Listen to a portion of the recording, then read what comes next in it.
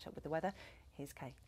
Thank you, Lara. Good evening. Well, as we head through tomorrow, once again, it is going to be quite mild and breezy, and we're also looking at rain that is going to get quite heavy in places. That's associated with a cold front. It's going to sink down from the north as we head overnight tonight, but really it's only going to affect the Dales and northern parts of the Pennines. We are looking at a couple of inches of rainfall.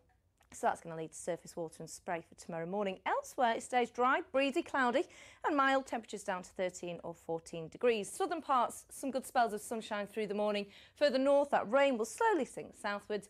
Once again, it'll be mild, highs of around 16 degrees. That's it from us here at the Late Look North team. Matt Taylor has your national forecast.